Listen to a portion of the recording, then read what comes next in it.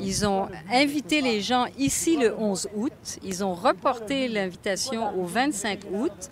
On leur a demandé de nous garder la salle de pompage le 11 août et là, ils n'ont pas voulu le faire. Ça, c'est vrai. Non, non. Mais ils n'ont pas réservé, ils n'empêchent pas, tu sais, euh, ils, ils ne nous ont tout simplement pas réservé la salle pour ce soir parce qu'ils ne reconnaissent pas la normalité de notre assemblée. Alors moi, je les invite, on a trouvé un autre endroit et on veut vraiment les inviter pour arrêter cette escalade de non-communication, qu'ils viennent nous rencontrer. Prêt ou pas, on n'est pas prêt, nous. personne n'est prêt. On veut juste se parler. Ce que je dois vous expliquer, c'est que nous, on, devra, on avoir une réunion ici le 11. Par contre, il me faut mon conseil d'administration.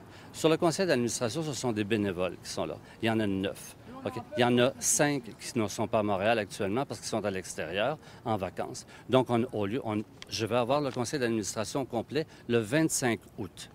Donc, ce soir, on est venu pour prévenir les gens que, et, on, l'a mis sur le site Internet, que la réunion était le 25 on a été dans les droits et on a été dans les règlements. Les membres ont le droit de demander avec quorum une assemblée générale extraordinaire. Extraordinaire parce qu'elle nous donne le droit d'écrire l'ordre du jour.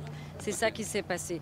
Et la demande de l'assemblée générale extraordinaire a été refusée et on nous a proposé à la place une réunion d'information. Ce que l'on ne veut pas, on ne veut pas être une réunion d'information, on veut une assemblée générale extraordinaire pour faire notre ordre du jour. Et c'est là où on ne s'entend pas. Une assemblée qui aurait une portée légale totalement différente. Totalement différente. Alors, on nous invite à aller à l'Assemblée générale d'élection fin septembre, mais on veut justement avoir des réponses à nos questions avant les prochaines élections. C'est très simple à comprendre. Moi, je vous invite devant le micro à venir pour arrêter cette escalade de non-communication. Venez nous rencontrer. Je vous dis, depuis... depuis c'est à deux minutes d'ici.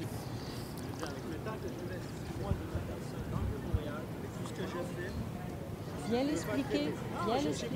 J'ai pas, pas à me justifier tout le temps. Non, j'ai pas à me justifier. Toutes les heures que je mets ici pour le, bien du Vieux-Montréal, là, regarde c'est quoi la marque qu'on mange. On vous, vous demandez une séance d'information. On vous la donne, c'est quoi? Parce que non, ça correspond pas Sacha, à on s'arrête. On n'a pas demandé une séance d'information, on a demandé une assemblée on générale.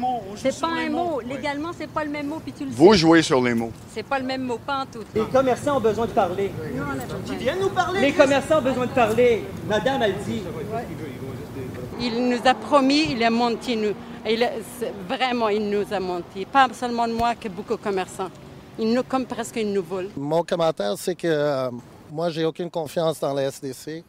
Euh, les peu de relations que j'ai eues avec euh, M. Michael Banks et Daniel Soucy, ils ont montré que c'est des gens qui, ont très peu d'intégrité.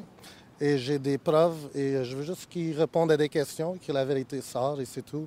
On est très mal content. Moi, je Écoute, euh, ils ont essayé de fermer mon commerce avec une pétition avec des mensonges. Et, euh, j'ai des preuves comme c'était des mensonges. ils ont, pour moi, ils ont, euh, ils ont dépassé la ligne de bonne conduite plusieurs fois. Et, si c'est des vrais hommes qui se présentent devant des commerçants, on est des gens qui travaillent fort pour notre argent et ils doivent nous respecter. Ils doivent respecter l'argent qu'on paye pour des taxes.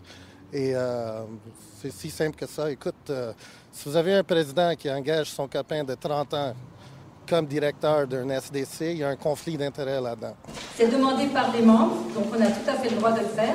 Une assemblée générale, c'est eux qui la provoquent. Là, c'est nous qui avons provoqué cette rencontre, alors vraiment, soyez fiers de vous, mais c'était le temps.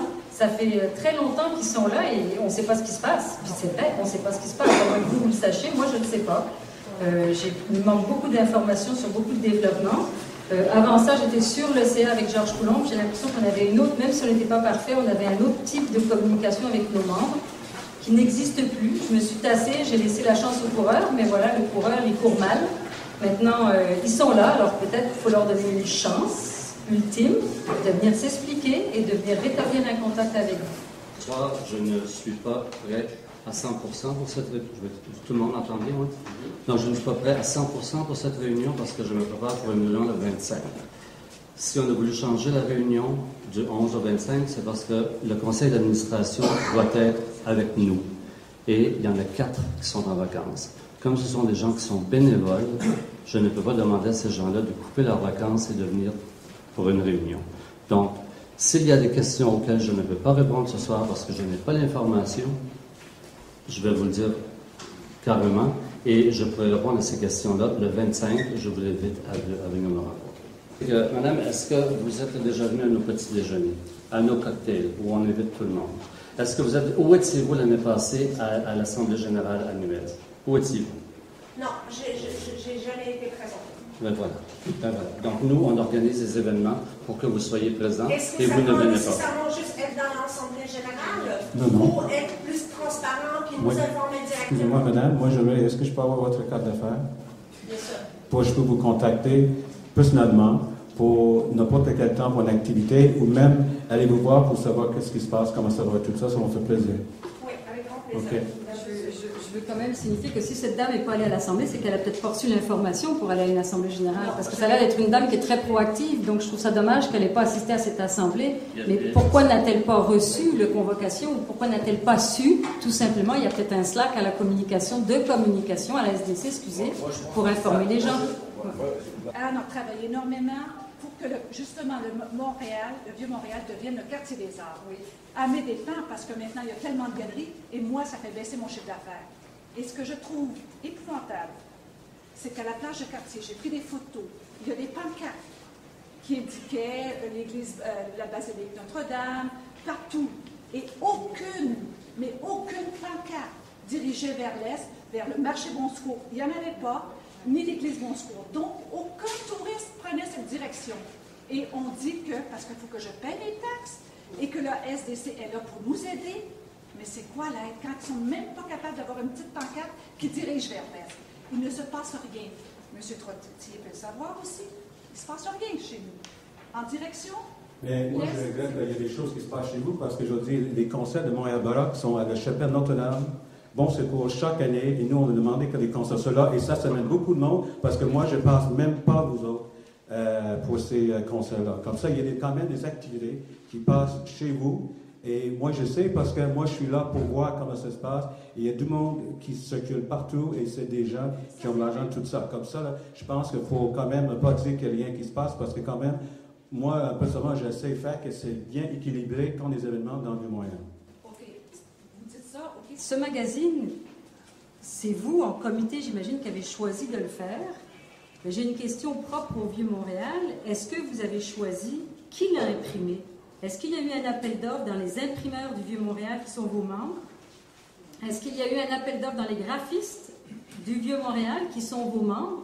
Ce serait une façon de leur redonner l'argent de leurs taxes. Ça, moi, j'ai cette question-là parce que je me dis, merde, qui a imprimé ce truc? Où est-ce qu'il est? Qui est en charge de ce magazine? Pourquoi moi, petite commerçante comme M. Delman, personne ne m'a appelé pour savoir si je voulais mettre de la pub ou écrire quelque chose? Vous savez, quand est-ce qu'elle a démissionné, Louise Martin? Pourquoi qu'elle est démissionnée? Quand?